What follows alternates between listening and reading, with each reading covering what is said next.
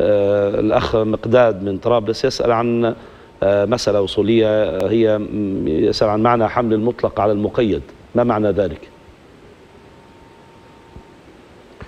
نعم هذه هذا موضوع معروف يعني في علم أصول الفقه. نعم. و- وكل يعني باحث أو كل يعني من يريد أن يعرفه يعني أي كتاب في الأصول يعني معاصرا كان أو قديما يجد فيه هذه المسألة. نعم. وهي مبنية على أن النصوص الشرعية سواء كانت في الكتاب أو في السنة يأتي بعضها يعني مطلقا بمعنى يعني بدون قيود.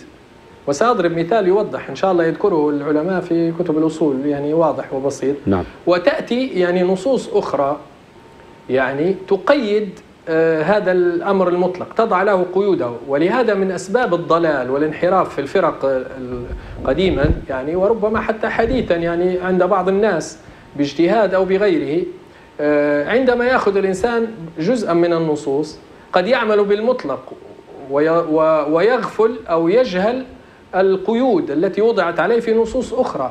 ولهذا آه، لابد أن يجمع كل النصوص وهذه دائما نذكرها في في آه، في الحلقات يعني أن ال- الباحث في المسألة طالب العلم أو الفقيه أو الداعية إذا أراد أن يتكلم في مسألة يريد أن يحيط ب... لابد أن يحيط بنصوصها الواردة في الأحاديث ثم يمحص صحتها من ضعفها ودرجاتها ثم ينظر في الآيات أيضا ويجمع بين هذه يعني قد يكون هناك يعني شيء مطلق عن القيود غير مقيد يعني. في موضع في القرآن مثلا وتقيده السنة. مثلا الآن الله سبحانه وتعالى آه، قال في سورة المائدة والسارق والسارقة فاقطعوا أيديهما. نعم.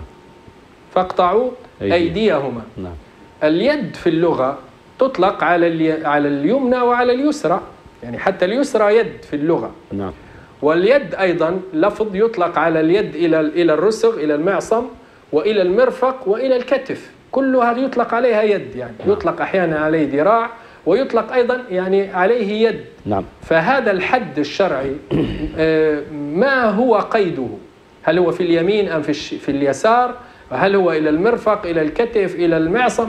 آه، هنا قال العلماء كمثال يذكرونه في كتب الأصول يعني السنة قيدت هذا المطلق جاء مطلقا في القرآن فقيدته السنة و- وقيدته بأن آه، آه، هذا الحد يكون في اليد اليمنى ومن المعصم فقط وليس أكثر من ذلك. هذا مثال يعني. وهذا معنى حمل آه، المطلق على المقيد. اتحد الحكم والسبب نعم هذا معنى حمل المطلق على نعم المقيد هذا مثال له واضح. نعم.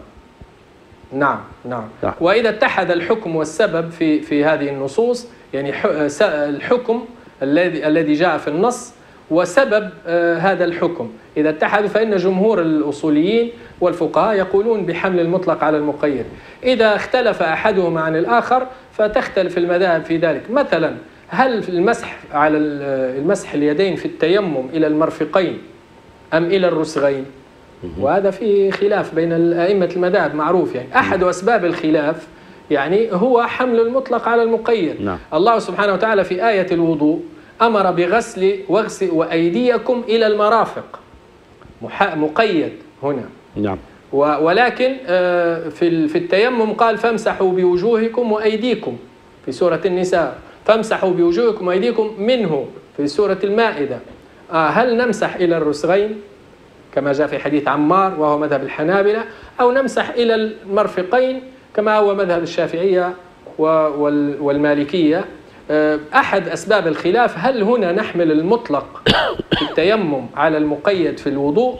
بعض الفقهاء قال بالحمل وبعضهم قال لا لأن الحكم مختلف. هنا غسل وهنا مسح وإن كان السبب واحدا وهو الحدث. نعم. وهذا يعني مثال يمكن للأخ الكريم السائل أن إذا أراد التفصيل والتوسع أن يرجع إلى أي كتاب من كتب الفقه وإذا صعب عليه الكتب القديمة فهناك كتب معاصرة يعني للأصول يبحث في الفهرس حمل المطلق على المقيد سيجدها في كثير من الكتب بعبارات عصرية وسهلة ومدللة بالأمثلة والمراجع.